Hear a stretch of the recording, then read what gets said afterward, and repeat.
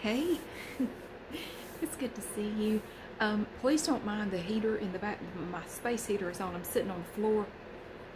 I, I'm not turning it off. I do apologize for the sound if it bothers you. Um, I went out to an early morning class, an exercise class this morning, and it's cold outside. And I just, the class wasn't outside, but for some reason, I just got chilled. I just got cold, and like I just can't get warm. I don't know.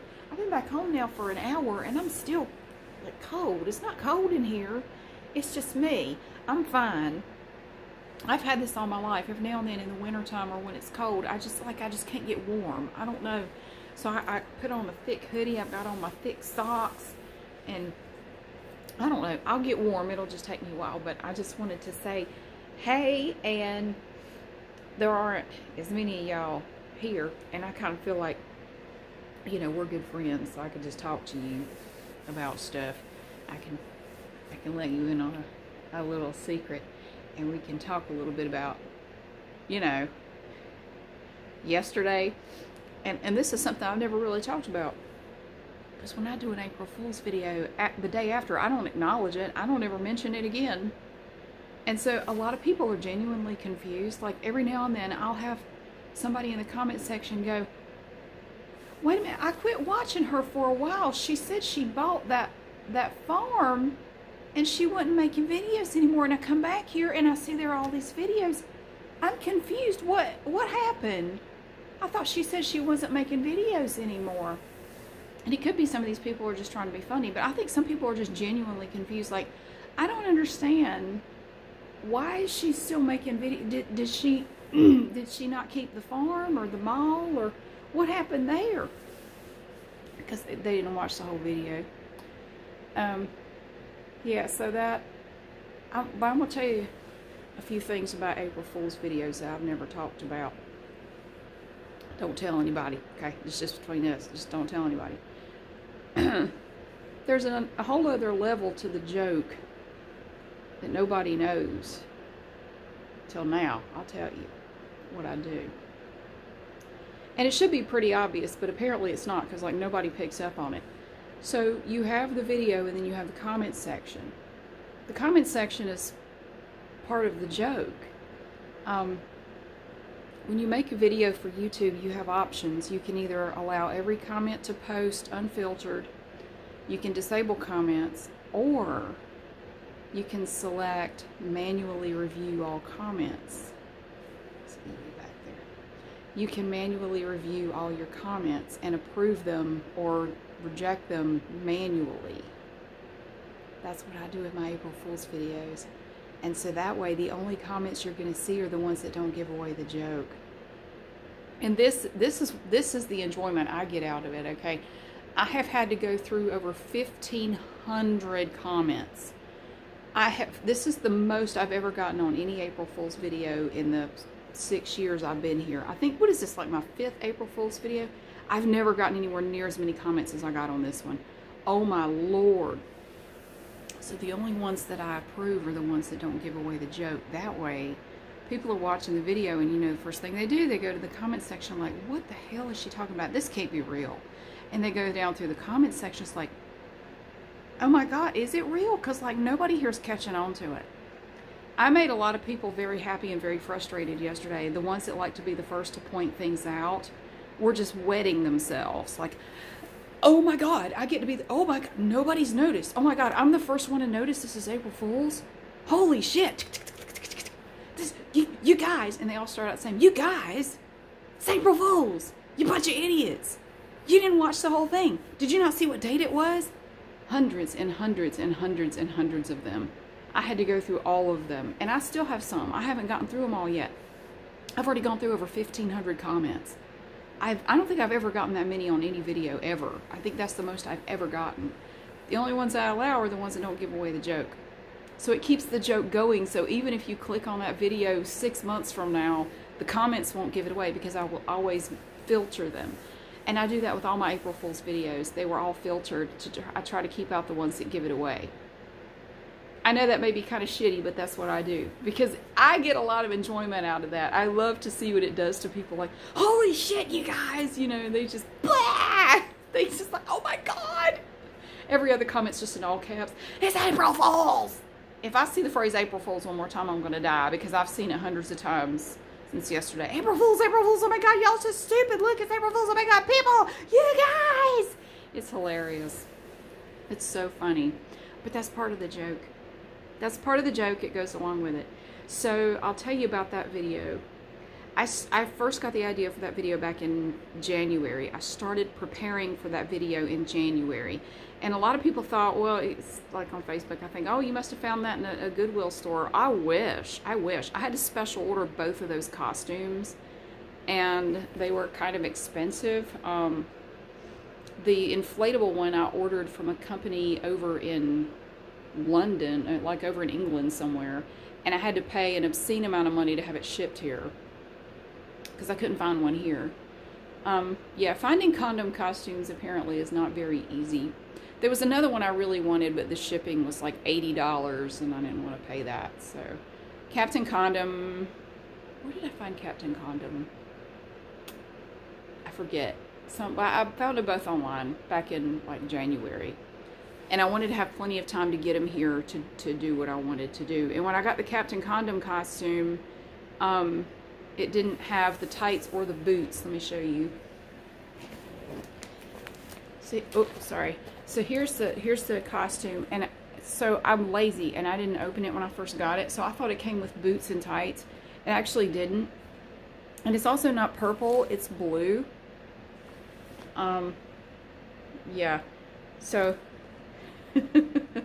so this is Captain Condom, y'all. Yeah, Captain Condom.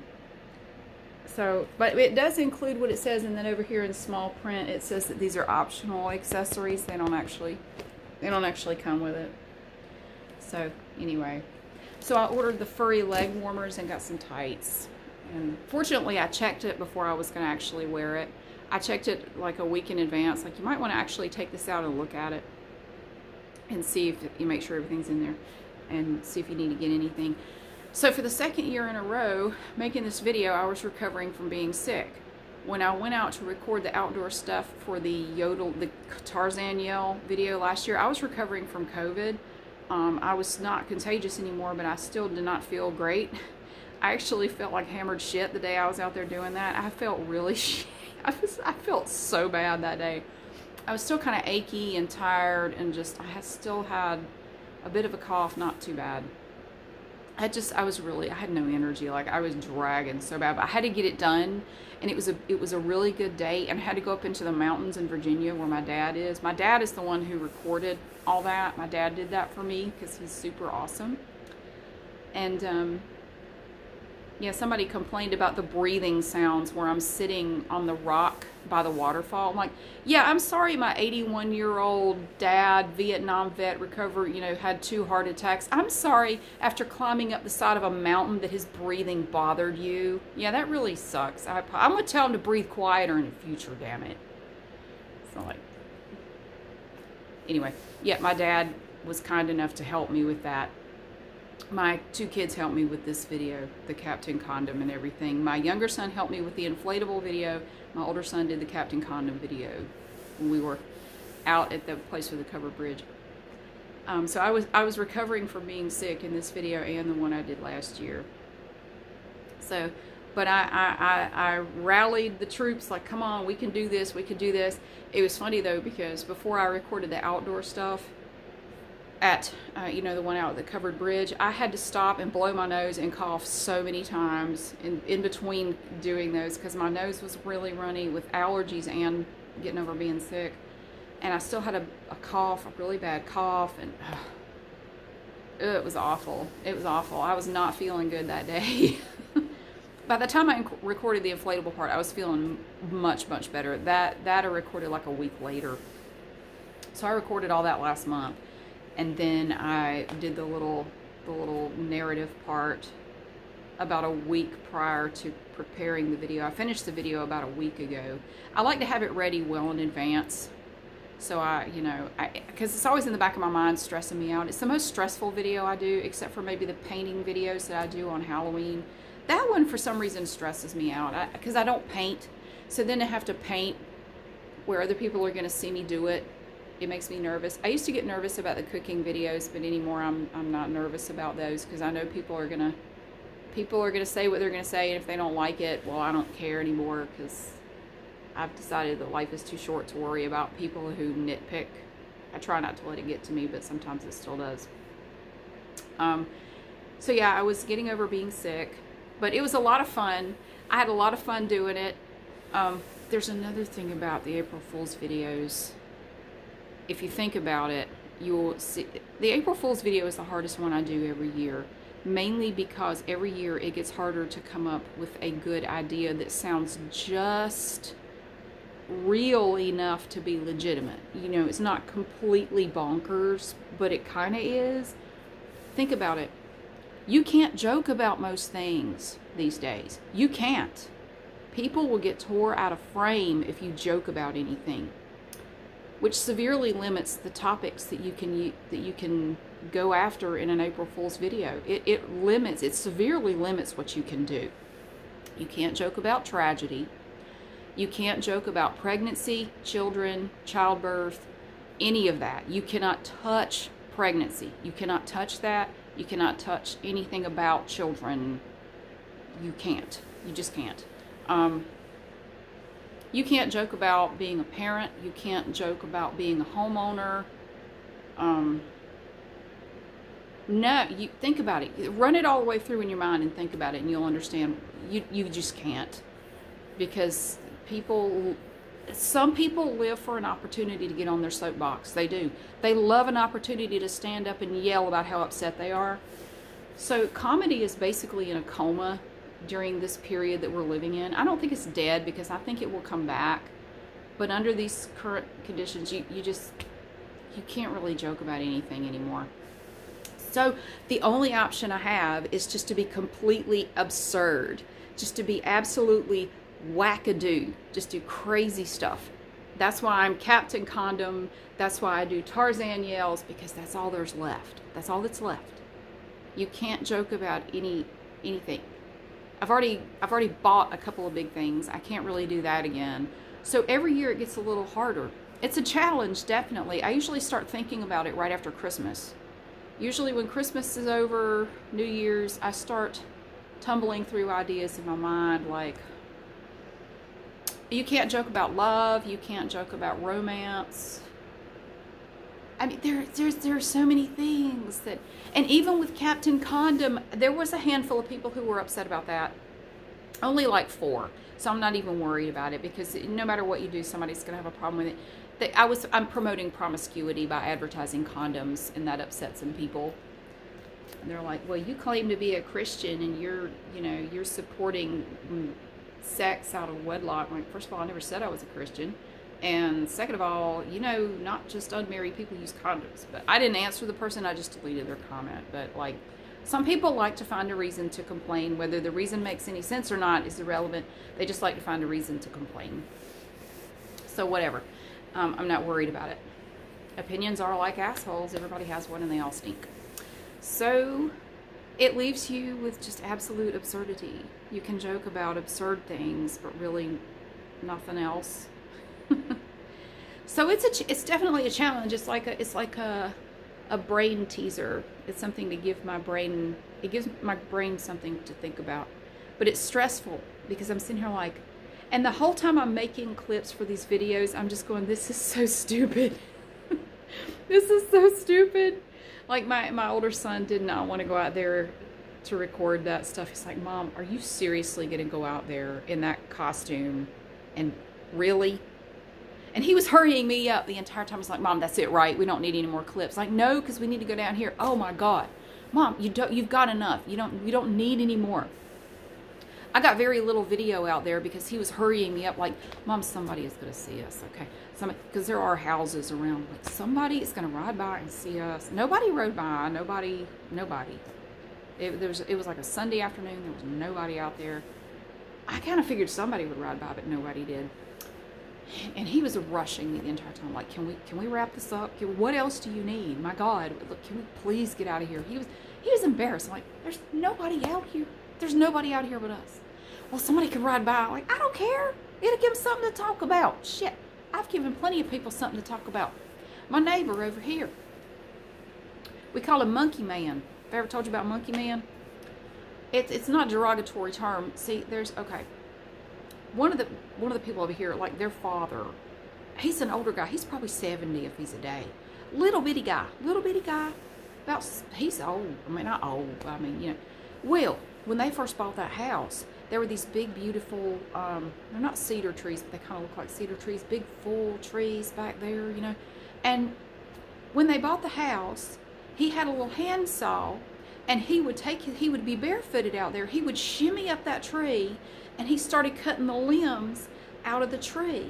And he trimmed all the limbs off all four of these giant trees until they looked like sad toothpicks sticking up out of the ground.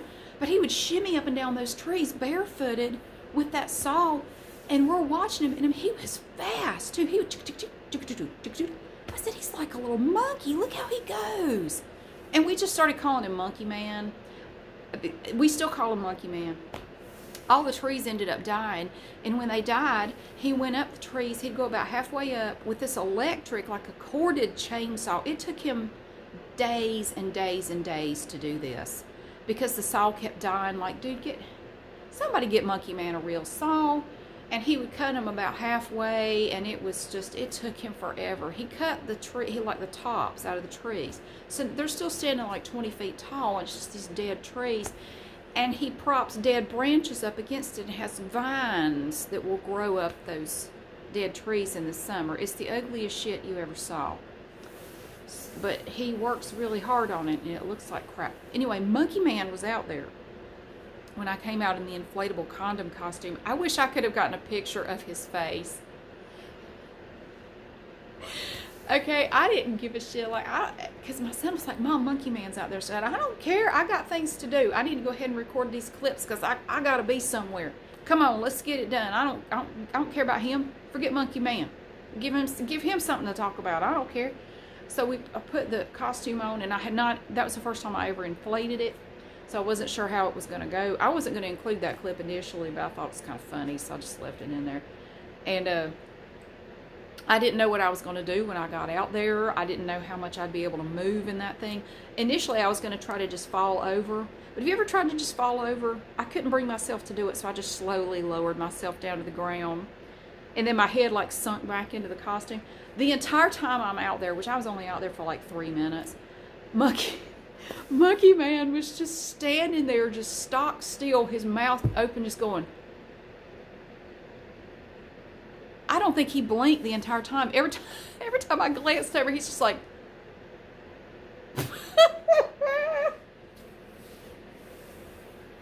I gave him a little wave when we went back in the house. He was just going.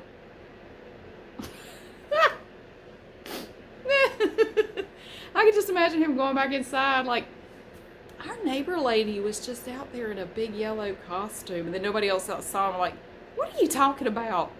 What? Do, do we need to take you to the doctor again? Do you need a new prescription for your glasses?